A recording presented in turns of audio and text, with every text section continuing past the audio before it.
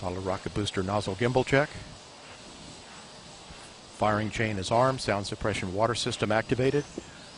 T minus 13, 12, 11, 10, 9, 8. Go for main engine start. 6, 5, 4, 3, 2, 1.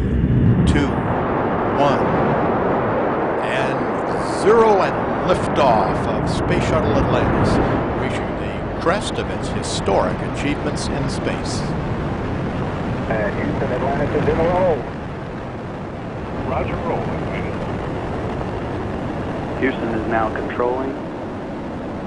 The roll maneuver is complete. Atlantis is in a heads down position on course for a 51.6 degree, 136 by 36 statute mile orbit.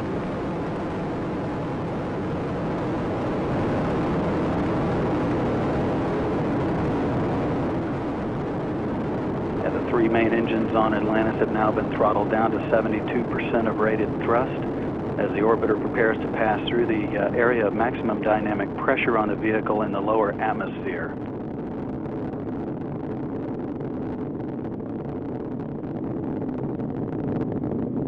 The engine's now beginning to throttle back up. Atlantis, you are go at throttle up. Copy, go, uh, throttle up.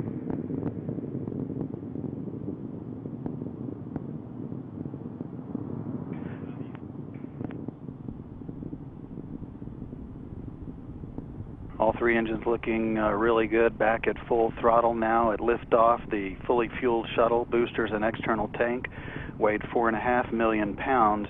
It now has burned uh, half of that liftoff weight in propellant.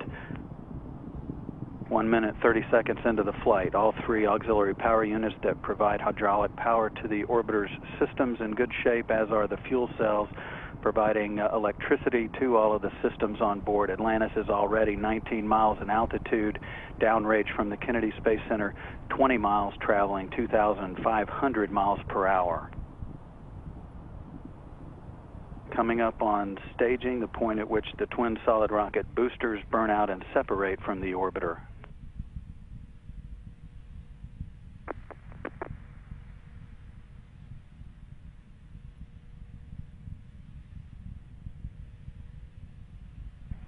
Booster separation confirmed.